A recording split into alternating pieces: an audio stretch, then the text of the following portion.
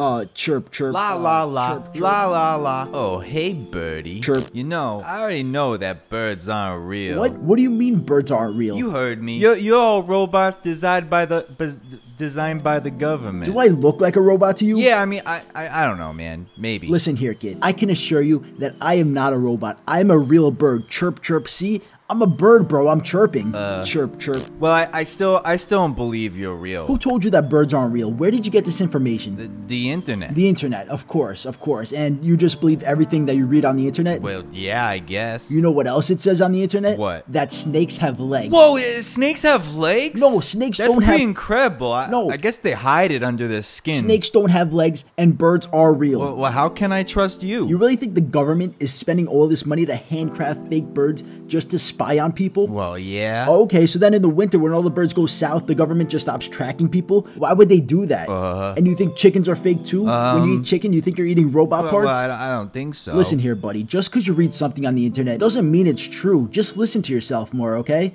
Trust your common sense. Well, okay, uh, that that was actually a valuable lesson. Thank you. You're welcome. Now I gotta go change my battery, so I'll see you around. Stay safe out there, kid. Bye bye. Wait, wait, what'd you say?